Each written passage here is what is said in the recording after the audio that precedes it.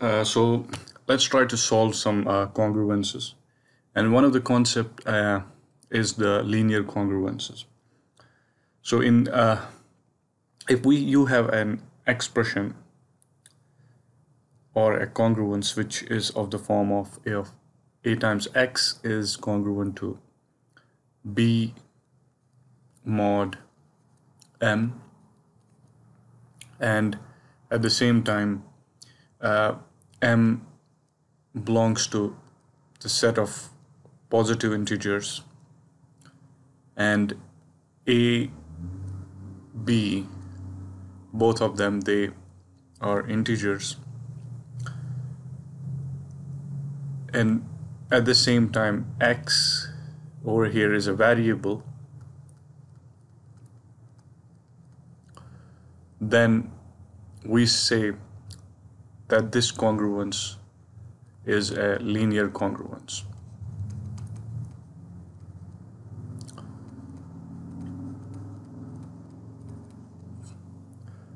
And anything, any value of x, any value of x that that satisfies this congruence is the solution of this congruence. Now by any value of x, uh, which is called as the solution of the congruence, it has to be an integer. So it has to be an integer. So this in itself has to be an integer. Now let's discuss the concept of uh, inverse in the congruence uh, that has a mod that has a mod expression. And uh, if you are given a mod m. And you have to find the inverse you have to find the inverse of this. Then it has to satisfy the following criteria which is a inverse which uh, which has this bar over it, it bar symbol over it times a is congruent to 1 mod m.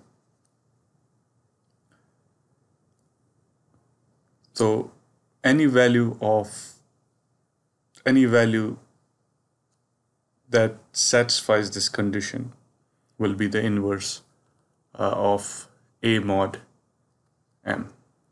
Now let's take an example let's say we have to find the inverse of uh, we have to find the inverse of 3 mod 7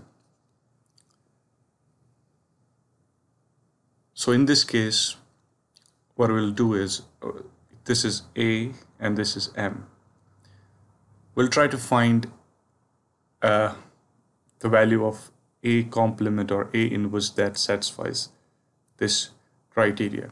So uh, since we know the value of a, we know the value of m, therefore this will this uh, expression can be written as a complement is unknown. So or a, a inverse is unknown.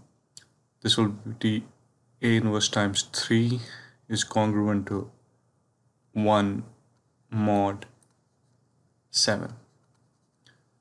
So any value of any value that satisfies this criteria will be the inverse.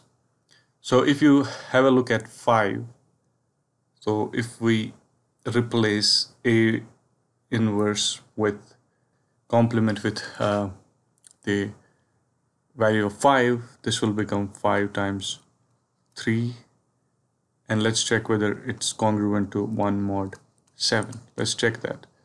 So we know this is equal to 15 and if you divide 15 by 7 this will be 7